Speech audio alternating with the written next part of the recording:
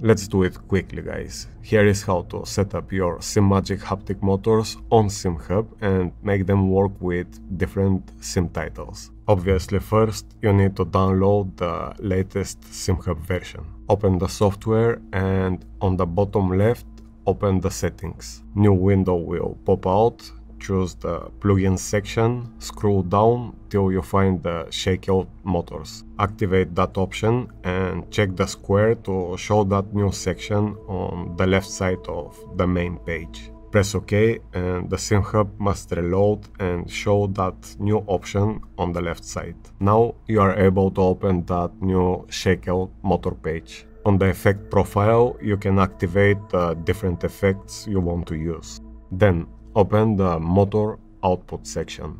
Look for the Simagic P1000 slash P2000 haptic pedal reactors. Activate on the right and then open the main menu.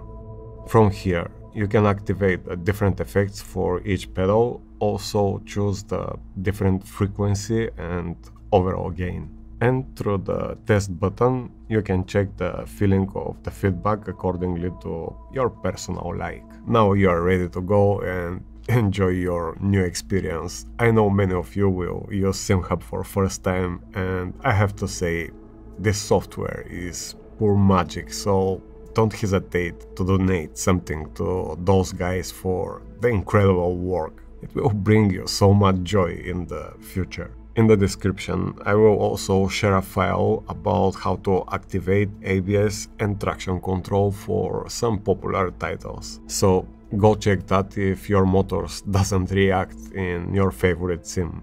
Again, if you are watching that video, you probably already have the Simagic magical haptic motors and I promise you, you have made great investment. It is not just about the immersive point of view, but also there is big chance you will become better driver. Here is a WAP with me beating my personal best after just 30 minutes practice session with those particular pedals.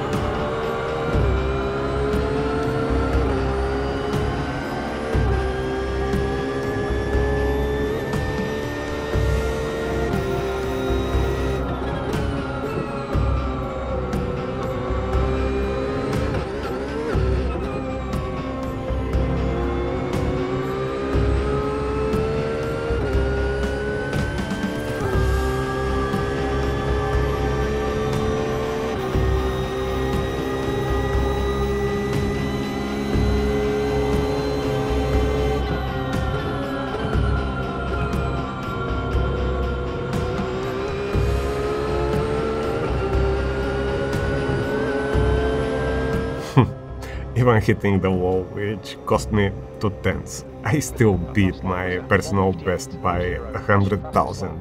I just love it.